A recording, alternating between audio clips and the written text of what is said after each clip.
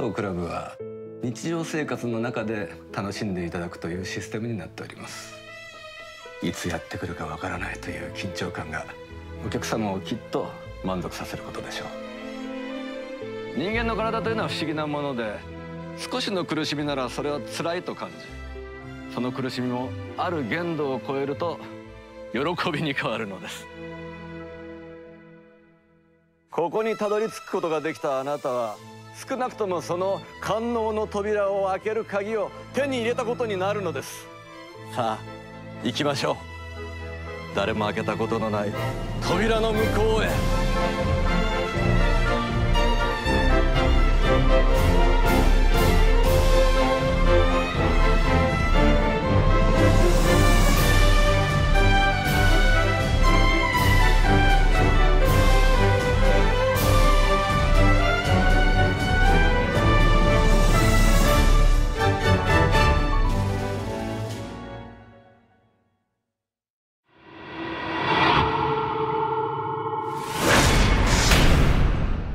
だし途中大会はできません。